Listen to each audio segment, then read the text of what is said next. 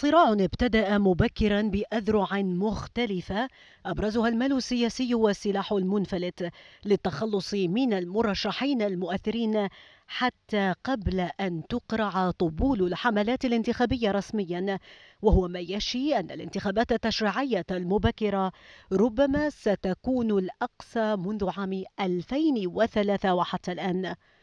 اللافت للنظر فيما يجري على الساحة العراقية هو التنافس السني السني الذي وصل حد التناحر والقتل تحت غطاء الديمقراطية في رسالة خطيرة تشير إلى ضرورة أن تحمي الدولة العملية الانتخابية وأصحاب الفكر والنشاط الجماهيري من السلاح المنفلت والمجاميع الإرهابية سيما أن في بعض المناطق السنية يختلط السلاح المنفلت بسلاح موازن آخر هو سلاح المجاميع الإرهابية.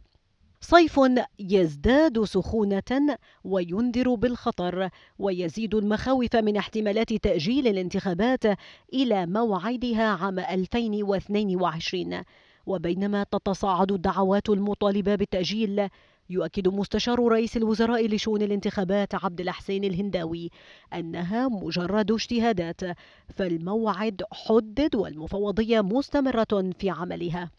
وبعيدا عن دعوات التأجيل أو التمديد لحكومة مصطفى الكاظمي يبقى خيار التشرينيين بمقاطعة الانتخابات على خلفية الخوف الذي أحدثته موجة اغتيالات طالت نشطاء ومرشحين شبابا.